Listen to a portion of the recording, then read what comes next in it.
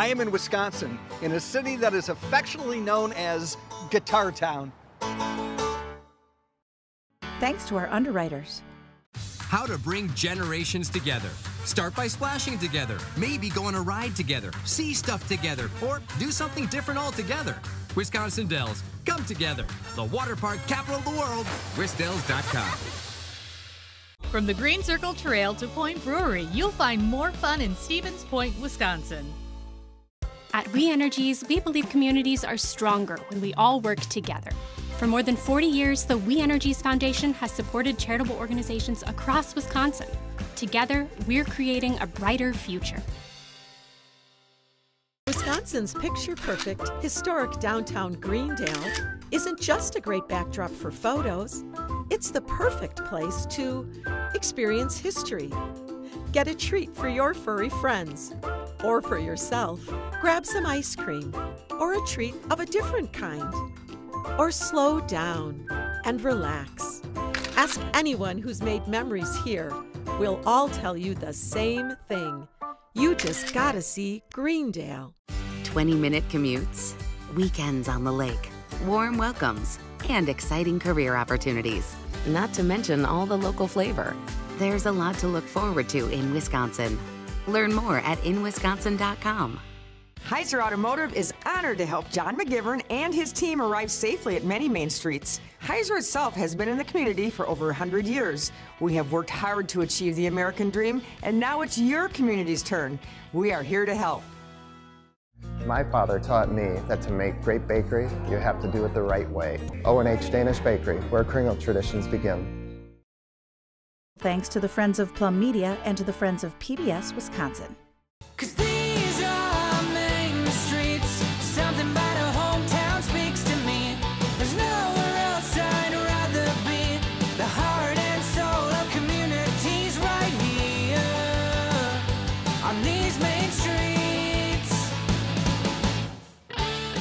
This is Waukesha. Waukesha is the seventh largest city in the state of Wisconsin, and it's known as Guitar Town because this is the hometown of Les Paul, the internationally known guitarist, songwriter, inventor, and of course, the um, pioneer of the solid body electric guitar. Waukesha is in southeastern Wisconsin. It's 18 miles west of Milwaukee on the Fox River in Waukesha County. If you had wanted to come to this area back in the 1840s, what name would you had looked for on a map? It was not Waukesha. Amy, why do you do this? I, I don't know. I just love when he doesn't know. All right, in 1834, the natives were already here. They had been planting corn and pumpkins and berries. You can just imagine sure. how pretty it was. Yeah. The first white settler that came here, his name was Morris Cutler. And he named this area Prairie Village mm. because he thought it was so idyllic. Yeah. Well, that name only stayed for a little bit, and then it got shortened by one syllable to Prairieville. Mm. But then in 1847, they named it Waukesha because of the newly formed county with the same name. Now, what do you think the name Waukesha means? Again, okay. I don't know. We'll just get right to it then. It means little fox in Ojibwe because oh, of? Fox River. You got it. Yeah, it's a good story. Yeah. It says Carroll College. This is really Carroll University. It was Carroll College until 2008. Founded in 1846, the oldest university in the state of Wisconsin. In fact, it was here before Wisconsin became a state. If you think I'm going to talk about nursing or business, take a look at the lab. We're aviation science and drone technologies, so we're set up to learn about flying drones, but also implementing sensors into the drones. And this program's been here how long? Started the minor about three years ago, hmm. and um, we just uh, started the major this fall. Over the summer, I worked with the Land and Water Department, and uh, I was looking at using a drone to sort of replace uh, traditional surveying equipment. And technology-wise, does it change weekly? It changes daily. Daily. There's this talk about transporting people in drones. Thursday. Thursday. It's gonna happen. It's gonna happen pretty soon. Yeah. We call this the sniffer drone. There's sniffer? Sniffer, where we have a um, sensor that can detect uh, different chemicals in the air.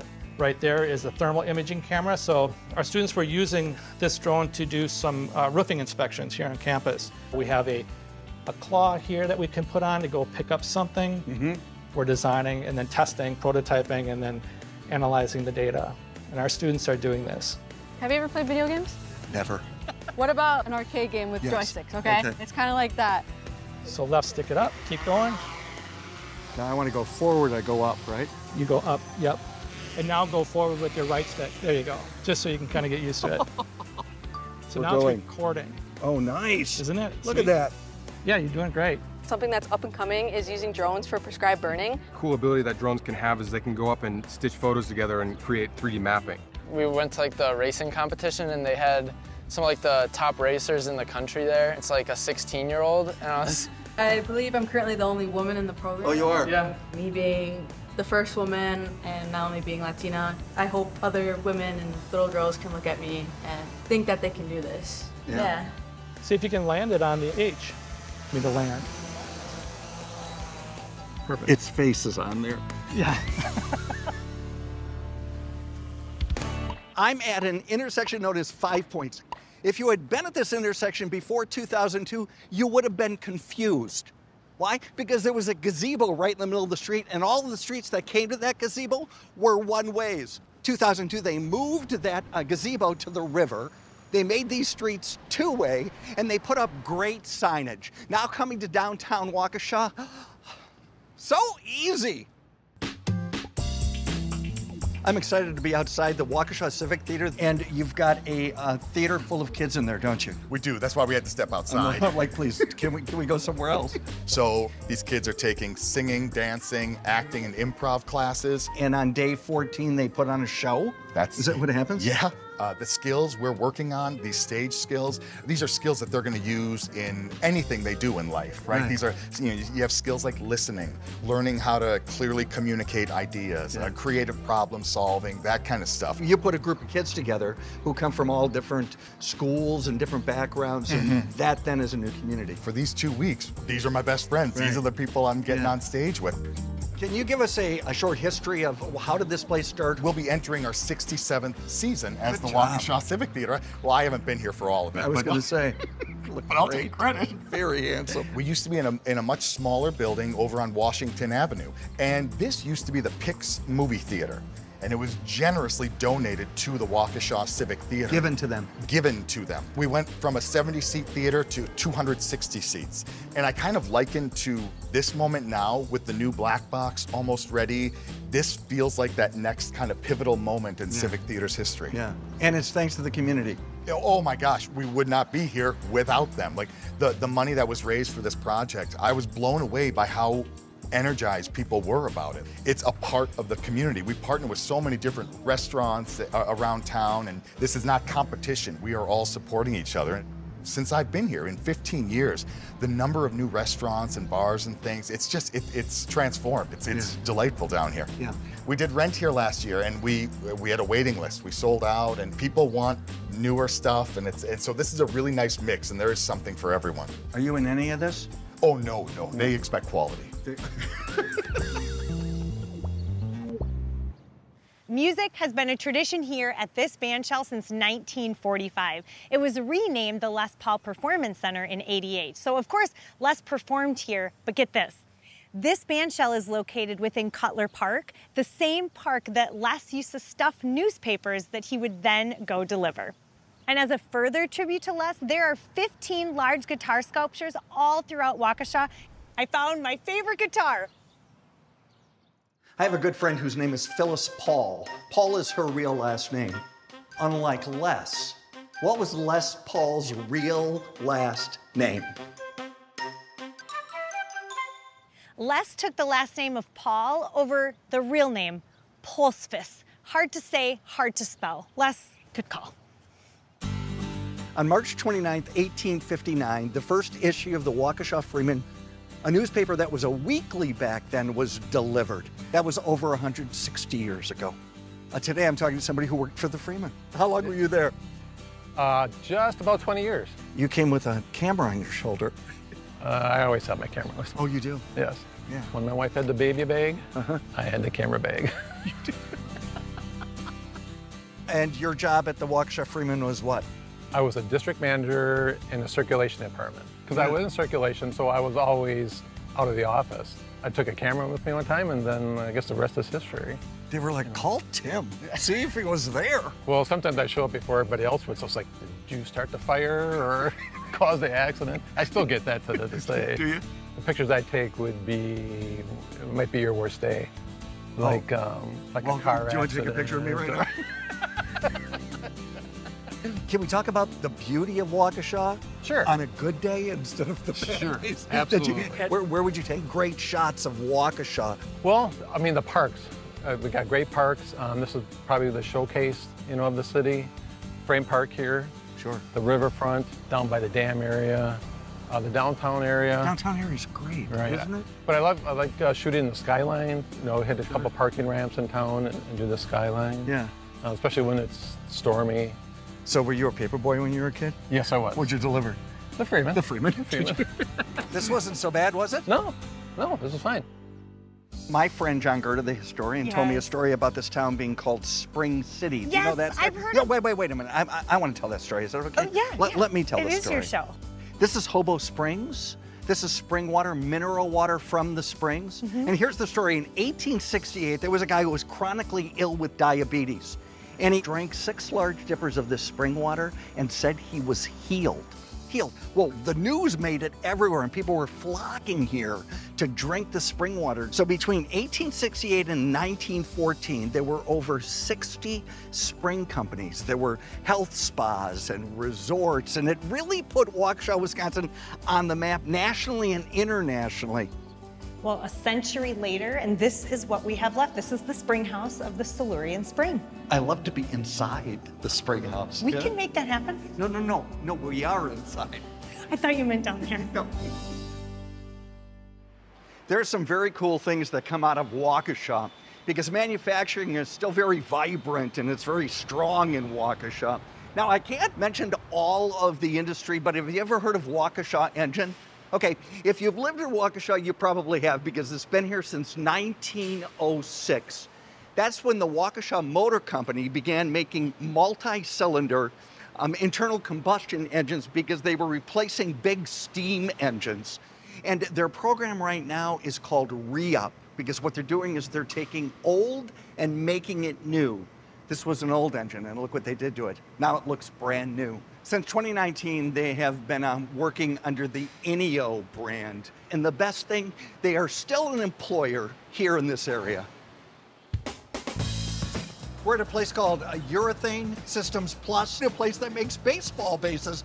I played ball for 34 years, and over the course of time, you learn that uh, every community has a ball field, Yeah. and at least one. And every field needs them, don't Every they? field needs them. It's such a smart thing to get into. We're made right here in Waukesha, Wisconsin. So nice. And I distribute all over the country. And a rough estimate is how many of these bases leave the door every year? I do about uh, 5,000 sets a year. You do? And uh, I'm looking to increase that.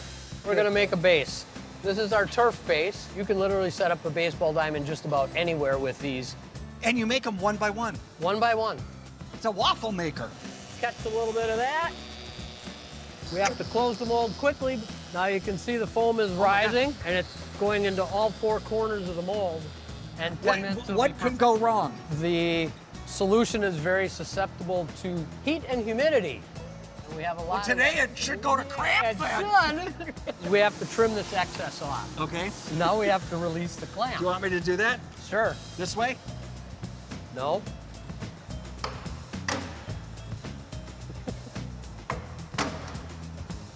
Shut up! what do you think? I think it looks perfect. Great. Lift. Keep going. I want one of these in my living room now. That's for, I think this is for T-ball. John, what Olga's making here is our convertible T. So what this fits into is buried into the ground. Buried into the ground. Boom, it'll fit right here. Fit right then your in. base is gonna fit over that. Fits over the top of it. If somebody slides in, it just pops right That's off. nice. This one takes, uh, ¿qué es el tiempo de esta? ¿Como tres, cinco minutos? Yes. Okay, so everything's 10 minutes. What do I know? You don't, you're new here. I'm new here. Our other style A15s, when they're trimmed, they fit into this box. Perfectly. Which is mounted in the ground. Like that. Like that. Our A15 base would come over the top of it. Now when it's knocked out, there's no way that anybody can get their foot stuck in here. Smart. So it becomes very safe. You know, I'd love to say that, oh, I've done this and everything else, but it wasn't me. I have awesome people, and they've kept me afloat. Now my friends are gonna be like, quit talking about bases, John. Yeah. I've had enough now. No, keep talking about bases, John. The Melendes family came to Waukesha in 1919 and they built their home right here. This area is called the Strand and it's where European immigrants first settled. The Melendes's home, it almost became kind of a hotel for Mexican immigrants. Back then, seasonal migration between Waukesha and Texas brought workers for agricultural businesses here. Well, then, of course, they found strong manufacturing, which provided and still does provide an opportunity for thousands of families to continue to call Waukesha home. In fact, over 12% of the population are Hispanic or Latino. You've got some tools. Yes, a little bit. I love a girl with Just tools. a little bit. Let's talk about what you do that you need all of this. I'm a woodworker. I'm a welder. I work with glass. I work with cement. I work with stone. So I need all the tools. Yeah. I teach uh, wood turning in Puerto Rico. And in Puerto Rico, saint carving is a big, big deal. Full 3D. And I said, you teach me saint carving and I'm gonna teach you wood turning. It's an obsession. I absolutely love woodworking. Yes, you know, sir. you're in this great building. Isn't it a neat building? It's a great building. It's beautiful. And how'd you get this building? Four years ago, I had an aneurysm burst in my head right here. what? Yep. I woke up to a priest saying, Are you prepared to die and would you like your last rites? I said, Are you kidding me? I'm hungry. I said, Have you, has it come to that? And this building is owned by La Casa de Esperanza, which is a very big community hub for Latinos here in Waukesha. And the CEO came to visit me, and I'm all wired up, John. I'm a mess. Yeah. And I'm like, if I get out of here, can I get that building? I swear. And so here I am. Here you are. Four years later, man. And who would Yeah. know? Who would know? Sir. Can we talk about the parade for a moment? Well, you know, we had this tragedy here Terrible. in Waukesha. Terrible. Six people lost their lives with a tragic accident that happened in our Christmas parade. The city wanted to create a memorial, and so I put together a concept, and my sculpture will be part of the park. What is the piece? It's two hands that are like this, Mhm. and in the center, they're holding a heart. So this is my model, and this will be six feet tall, four feet wide, and about six feet wide down here. And then they asked me to come up with a project for the community where everybody could be involved. And I came up with the Community Tile Project. For a $25 fee, you can buy a tile, but you get the tile unmade. You get to make it be whatever it is that you want it to be. I would love to have like our main streets honor your main street. I love it. I really did not expect the level to which people are expressing their pain, their sadness in, in this healing process. And look what you did. And I'm happy. This is fun. Yeah. You're little. I am. That's what everybody tells me. Everybody tells me that. Here's my Waukesha tip. If you've never had a panzerata, I mean, I'm telling you, you gotta. So this is how it works. You are a chef by trade, and you had a kitchen that you let people use. Yes, it was during COVID and everybody was doing things at home and wanting to be entrepreneurs. Right. So we um, moved to this space because this one offered four commercial kitchens. There's how many artisans that come in and use your use the kitchens? I'd say right now about 26 we have. And is each kitchen equipped the same? Each kitchen is a little bit different. So mostly the stoves, convection ovens over here. A lot of our caterers, our ice cream folks, the folks that don't need a stovetop will work in here. And then our bakers will typically oh. work over here with the so great. convection ovens. As Pam helps them with the culinary side, I get to help them with the business side. Nice. So how do you price your product? Yeah. Where do I sell my product? This is our bourbon toffee. We use Driftless Glen's bourbon on a Baraboo, so it's all Wisconsin based. And it's all made here? It's all made here. I know, right? And the stuff that I don't have at home is right here all in front of me. And we help each other out. Good. Uh, we look after each other. Just like Pam takes care of us, you know, we take care of each other. And then we also do cooking classes here. So tonight we're gonna make a mixed paella together. I always say there's one troublemaker in the crowd. Bring the camera over here. There's no judgment. If it doesn't look perfect like we want it, it's okay. It's going to taste good. Give me yours and you take mine. A little bit bigger. Bigger? You're going to put these on the, the top of the cake. Like Diane has over here. Diane told me to do it thicker. Can we get some more toffee? So this is referred to as the Batonnet or the Julienne cut. And how often are the classes? Uh, five to six days a week. You're kidding. No. I have three chefs that work with us here Good. that help teach the classes. Kind of spread it out, stir it around, and then we're going to add two more ladles. And then I like to move the pan around a little bit too. I do too. I love when you agree with me.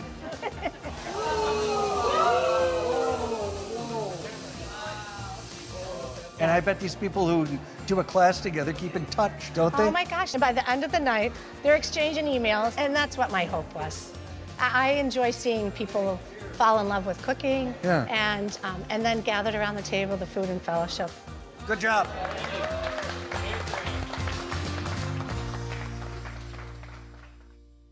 This is Club 400. The address is not 400 East or West or North or South, whatever street this is. No, it's a much better story than that.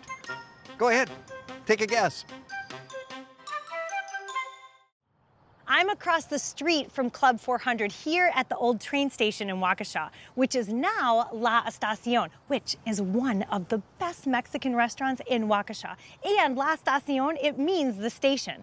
I'm in the actual station. Right here, this was the platform. There are even original train cars as part of this restaurant, something I've never seen. So why 400? Every day at 4 o'clock, the Chicago Northwestern locomotive number 400, it used to stop right here. And across the street, that's where they built the Northwestern Hotel. In 1948, Les Paul's dad and brother bought this place after a lot of renovations, and they named it Club 400 after the locomotive. Club 400, so much history and still a classic. You're known for being a mayor, but you're really known for uh, for your um, barbecue, aren't you? I'm better known for my barbecue, I think, yeah. So is there an exact science to this? No. So is there an exact science to being a mayor? No. You, uh, So you're doing met- well in all of your life I right don't now. have to be exact. You've met a bunch of mayors, I'm sure. am. I mean, they're all different, aren't they? Do you want to talk? Yeah, well, probably off camera. You know, there's all these sort of discussions around barbecue, like is it Memphis? I'm Kansas City, so You're I used Kansas to. City. I used to compete in uh, Kansas City circuit. The mayor entrusted me with a slab of his ribs and his knife, and here we go. Are you're okay? Hey, you just- step- I- yeah, I'm just taking a step back. And now you have to kind of find your way down along the bone. It's not easy. It's a lot of people have a tough time doing it. You're above average. Thank you so much. Cheers. A lot of flavor. Mm-hmm. They're nice and tender. There'll be a, two or three ribs left. I've been here since 7:30 this morning. Here we go, you guys. This looks good. Employees bring bring the sides. Oh, they bring the sides. Yep. This looks delicious. For any organization, doing things like this makes a big difference. Um, You know it does. It's got the, to. The employees talk to employees they don't normally talk to. Now, what do you do for the city? I am the city attorney. All right, he's the guy we really need to know if we get into a pickle at all while we're here in Waukesha. We're gonna call you. Are we talking stra- big strategy here, or are we not talking work? We're talking Weekend. We're talking weekend. the mayor is not even eating his. He's he's eating all the sides, but he's not even eating his own ribs.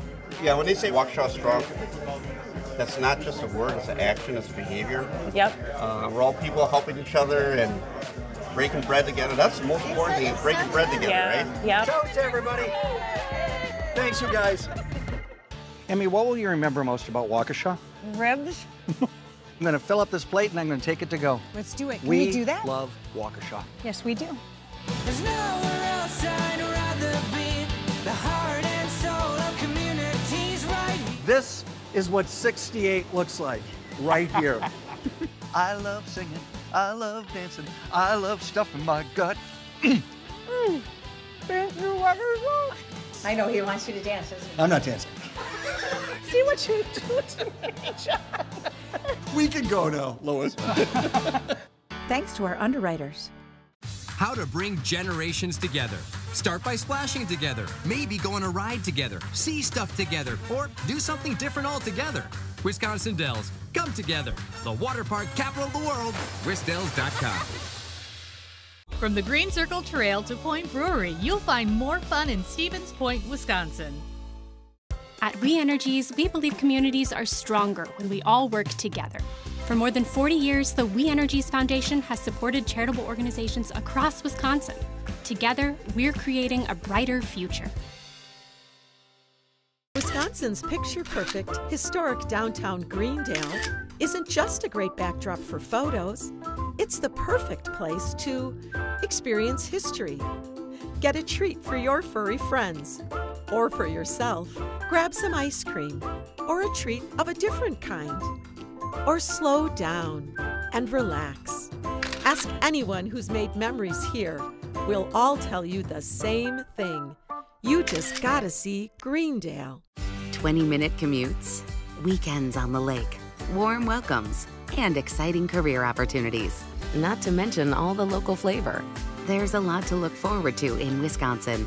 Learn more at inwisconsin.com. Heiser Automotive is honored to help John McGivern and his team arrive safely at many main streets. Heiser itself has been in the community for over 100 years. We have worked hard to achieve the American dream, and now it's your community's turn. We are here to help. My father taught me that to make great bakery, you have to do it the right way. O&H Danish Bakery, where Kringle traditions begin. Thanks to the Friends of Plum Media and to the Friends of PBS Wisconsin. Can I get your cookbook, please? It's up here. I thought he was going to say phone number. That's where he was going. You'd be next. so disappointed.